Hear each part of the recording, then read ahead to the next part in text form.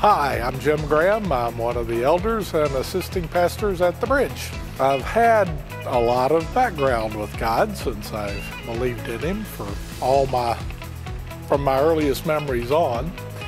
But I have learned a lot of details from Pastor David that I haven't elsewhere, and that's actually saying a lot considering how many sermons I have had and how many courses I've taken.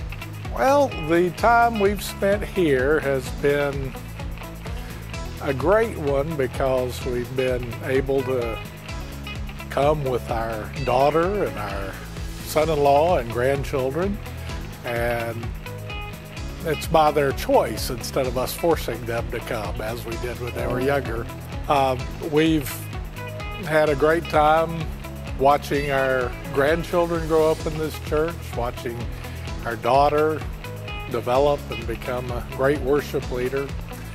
It has been a place that has brought our family closer together.